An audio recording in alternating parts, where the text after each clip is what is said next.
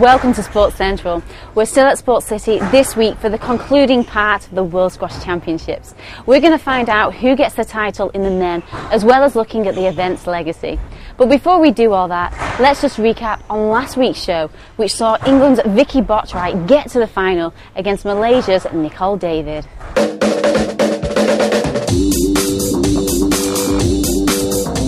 What was once hard to imagine is now a scene of delight. The squash world is a prestigious one which continues to thrive. Squash is now played in over 150 countries around the world.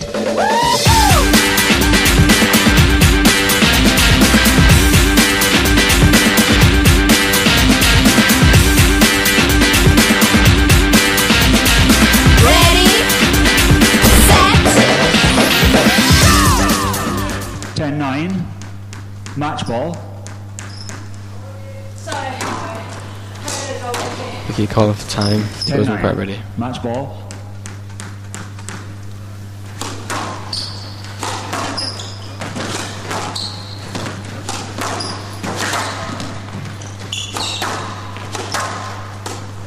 So Vicky now attacking, playing with drops. Nicol asking. Oh, just give a stroke. Harsh way to end the Match, match. Very hard. David wins by 3 games to 1. 5 11, 11 1, 11 6, 11 9. I just went in there hoping for the best, and uh, and Vicky just came on strong with the crowd cheering her on, being at home ground. Yeah, you know, it's that's how it feels like um, when I play in Malaysia. When the home crowd get is there, they just cheer you on, and you get that extra energy. But I knew I had to do something more, and I, I managed to pull it through. It's been fabulous this week. I, I don't think I could have um, written it myself, you know, better apart from winning. That would have been nice. I play the nationals, and I don't. It's known, and it's almost like a bit of a running joke that I don't actually do that well. Um, so when I started to kind of produce the goods, so to speak, everyone was kind of quite pleased because it's been a long time coming. The Squash World Championships was the last professional game for Vicky. Retiring, she enters a new role as head squash coach in Manchester. Now, I caught up with her to talk about how the championships has impacted the future of the sport in the region. Well, all this week we had um, a number of different schools coming in um, to watch squash. We did some sessions on court. Um, you know, so they've been around, they've experienced like top top world squash. They got goodie bags and t-shirts, and, and we got the kids to cheer for the players on court. And if you were green, you chose this player. If you were in orange, you, you cheered for this player. And so it was it was actually quite good fun. We we had about eight coaches. Um, that came in and, and, and, and looked after that for us. Fantastic to involve the kids in an event like this so they can look up to the role models. That's right, yeah, and they can see what that maybe they could achieve if they if they're willing to work hard and if they like playing squash, they can then get involved from um, just a simple skills program, and then they can do an after skills program or little belters programs, which is what we run, and then they can get involved in the academies if they progress even further. So. So, could you just tell us about the programmes that are coming out of this event? Um, we went into like local primary schools and um, they we delivered like a five week program which ended um, with a mini tournament and then the winners of that mini tournament then got the VIP tickets to come here and we're also going to continue with the legacy and more schools will will go into more schools and we'll run we'll run other events and we use the mini squash wall which we take into sports halls and so yeah we're going to continue with the legacy of the World Open. So, we've got some great development pathways for the children. What about the adults? Well, we have a number of um, things that are going on for the adults. We have a community night on um, a Tuesday night, which is open to anyone who wants to come, beginners, intermediates, you know, or even advanced. We have all the courts here, so it's just kind of come down whenever you want. Between like three hours, really, from like six till nine, um, and then we have a number of racquetball programs running Monday, Thursday, and Fridays. Um, our successful one out of that is the Friday one. Um, we have a lot of members that come from the gyms down into into the courts. The, the Monday and the Thursday ones are targeted maybe at the mums that drop the kids off so they can play racquetball on the other side of the sports city and know that that you know that the kids are in a safe environment and they're kind of doing some activity as well. And we've also just started up um, a new program on a Friday night, six till seven. Um, it's actually at one of Manchester City Council's um, venues in the sports hall, Denmark Road, um, where we, we run a, a program for women only there. So it's, it's actually in the sports hall, so it's kind of you know a little a little bit of exercise and some racket skills as well, which we do against the wall. So you've been in this role, well, you've been doing this role for some months now. It sounds like you're very busy.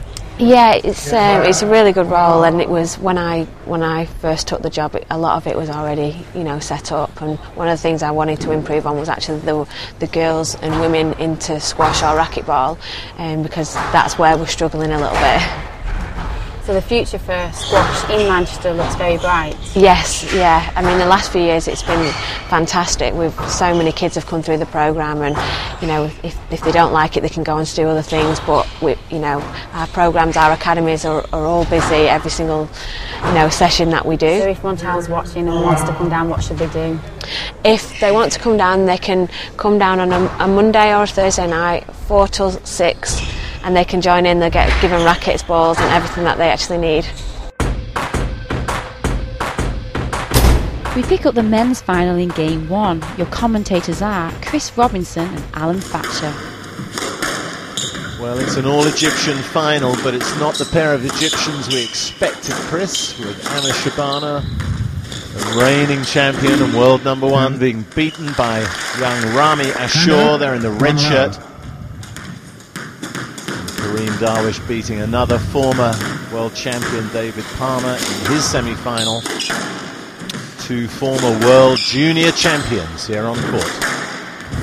Yeah, I mean that's a, a great added interest, isn't it? The winner of that will, the winner of this, sorry, will join Jansher Khan as the only person able to win both junior and senior world champs, and that's, I think, it's a fantastic achievement for any player. Yes, lad. One love. Ball, a quizzical look Yes, from lad. Rami Ashur. 6-2. Exactly where you would want a coach to be able to tell your player to get to. Get to six first. Halfway mark. Yes, lad.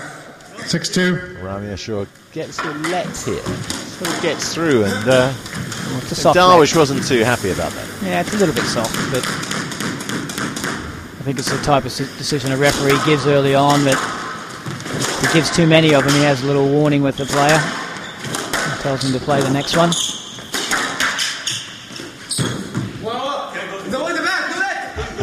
This time No it's let. Darwish's turn to Hand out. Darwish gets a no let. Three six. He was No, you heading went the towards wrong the front Couldn't wall, and then Chris suddenly All turned right, around no and tried to get towards you. the back wall Three six. and found Rami Ashour in his way. Well, I mean, when you consider the other one was a was a let, you could have played a little let there as well, I suppose. That ball dying in the back left corner.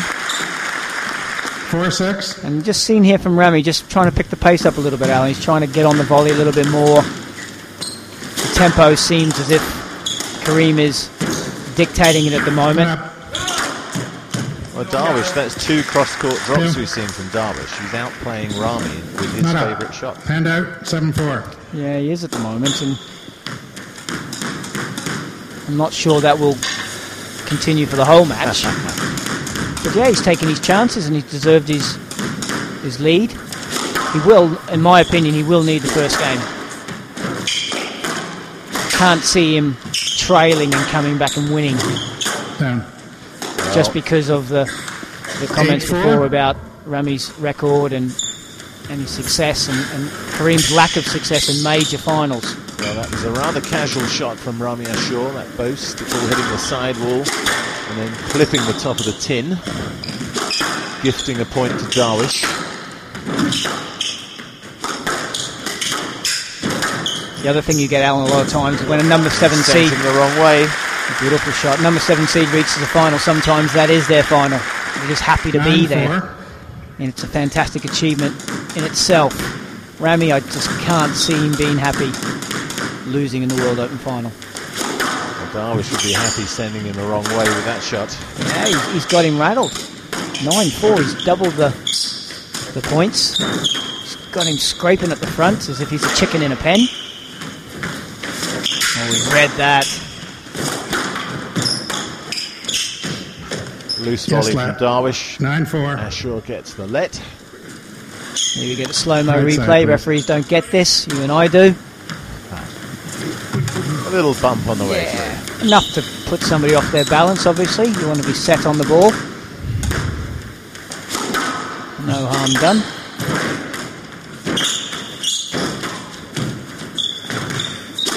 Kareem's lobs noticeably not as good as Rami. Doesn't get under the ball quite as well.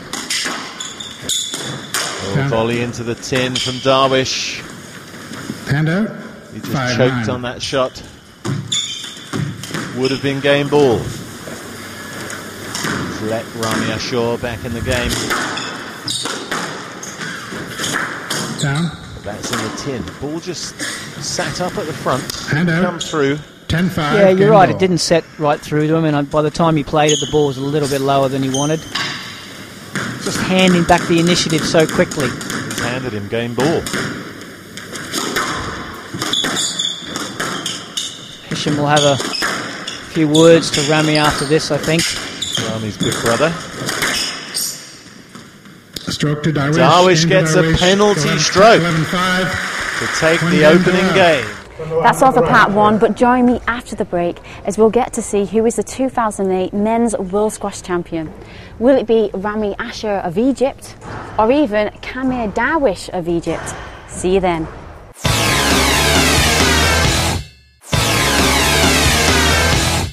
Welcome back. We're at Sports City in the centre of the 200 metre athletics track, looking a little bit different as we're here for the Squash World Championships, and we're going to get back to the men's final.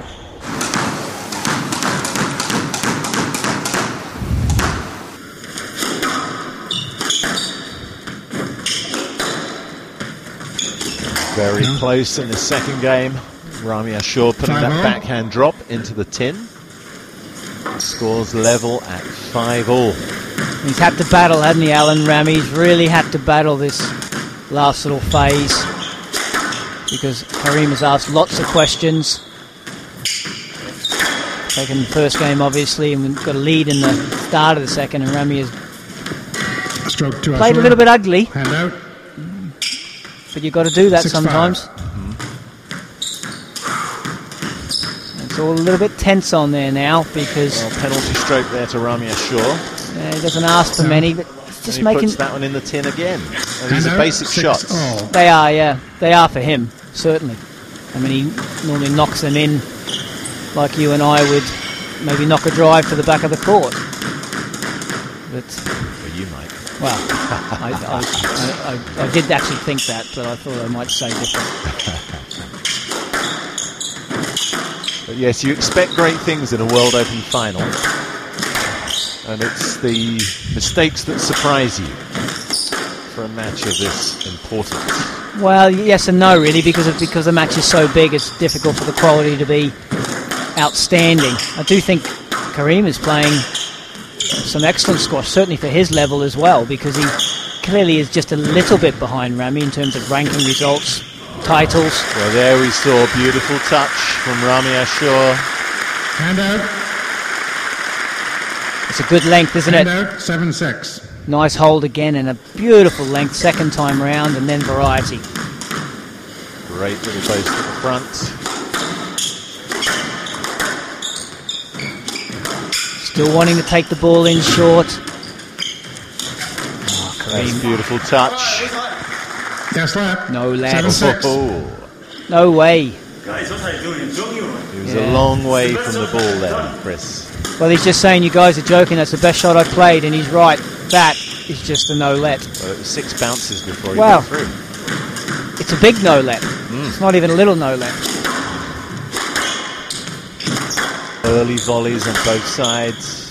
But also how quick he gets out of the shot and back to the central area. Skipping around the court effortlessly. Squeezing the lines left and right. Width's been good as well. Kareem, to his credit, he's hanging in though. Alan, he's not doing anything silly at this particular stage. Ah. Loose. And there he squeezes it. 7 See, Rami Ashur could have asked for a let there, opted to play it slightly off balance, gave away a simple penalty stroke. Yeah, but his philosophy is to play the ball. Absolutely. And that is such a great thing to see. Nobody wants to see matches full of lets.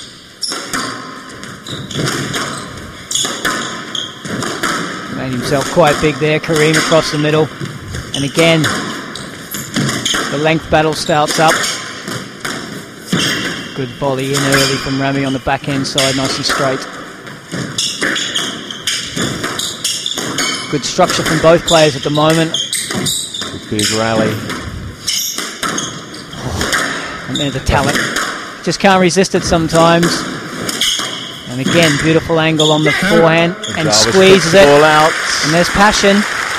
He knows this is a big phase. Well, let's see that again. Is that slice cross court volley? Hand out. Well, the nine, first one was the nick, and the second one was just the angle. Look at that. And that. it goes. And then that squeeze, the error. That was a good rally from both players.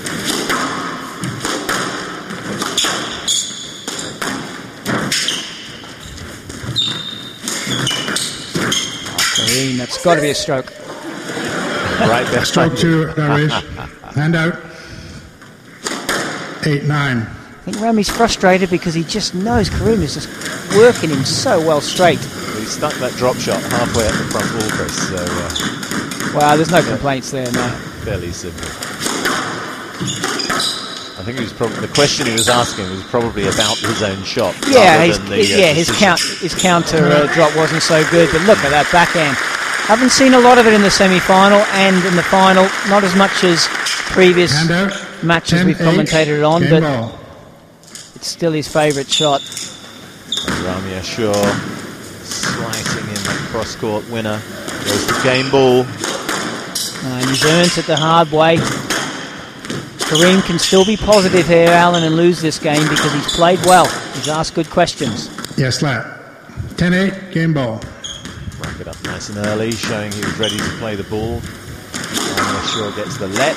And it's another good lesson for juniors. If you want to get a let from the referee, you better show that you can actually hit the ball. Down. That's in the tin 11 from Kareem Game Darwish. Ashur, One all. So Rami Ashur has fought back. It's one game all. Rami Ashur. Exquisite touch. Great reach. That's So to a Darwish.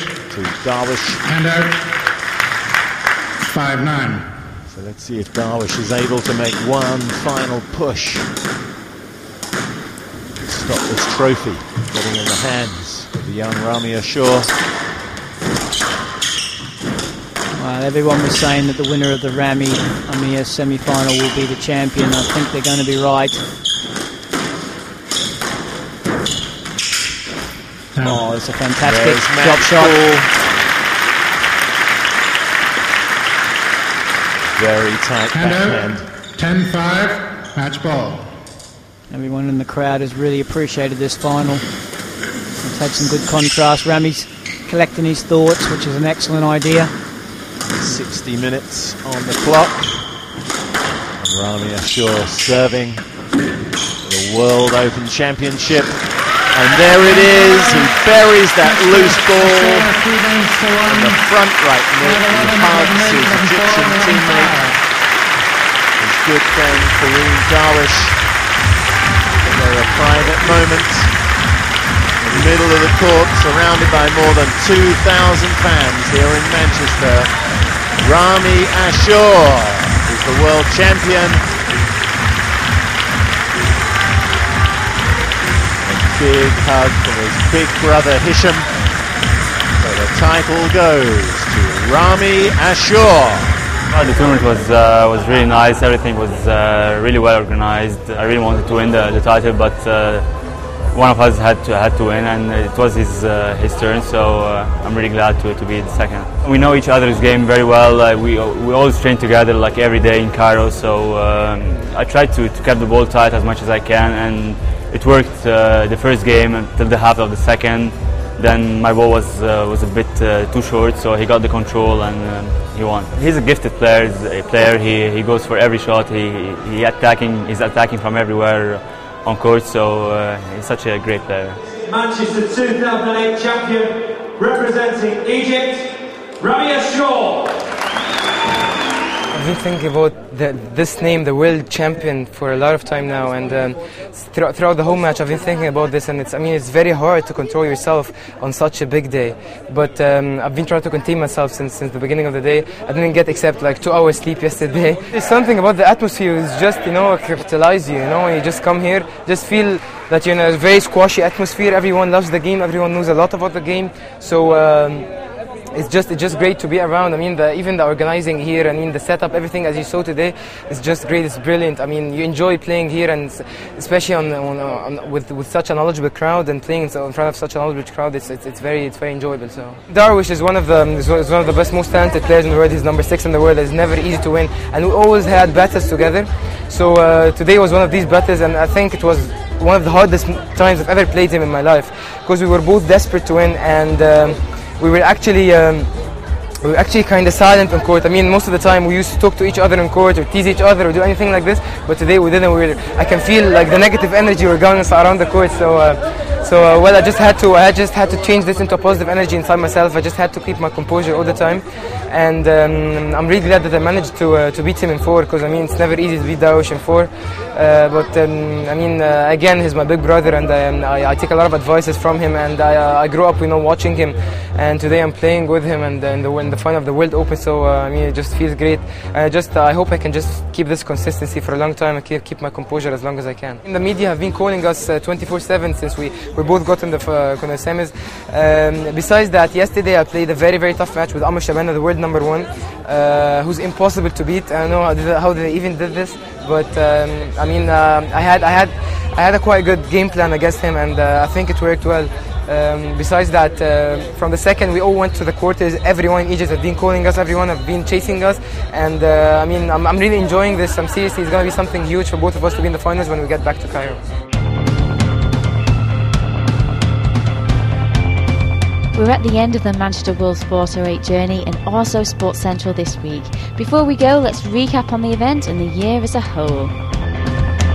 What you do when you start organising events like this is two years of planning and then um, you don't really know what it looks like before you build it. So you build it, you create the stage and at the end of the day it's about the athletes and if the athletes, you know, turn up, enjoy and perform then it makes for a, for a great event and they really have performed well so it's been a good week.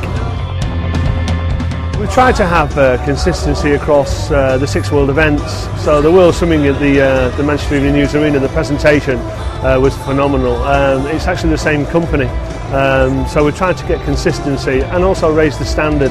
Um, obviously we had IOC delegates here as well and one of the, the factors that they look at is the presentation of the, of the game. And so we, we, uh, we have concentrated on that quite a lot. In terms of global exposure, um, world profile, um, putting Manchester on the map as a true sports city, we always say sports city. But I think economically it'll stack you know, people will say how much has been invested, the economics about the hotels and the, the, the bars and the cafes and people visiting Manchester and all the other attractions, but also the social side, you know. We've enhanced our programme with, you know, thousands of youngsters playing squash, thousands swimming, cycling, so massive benefits for the city.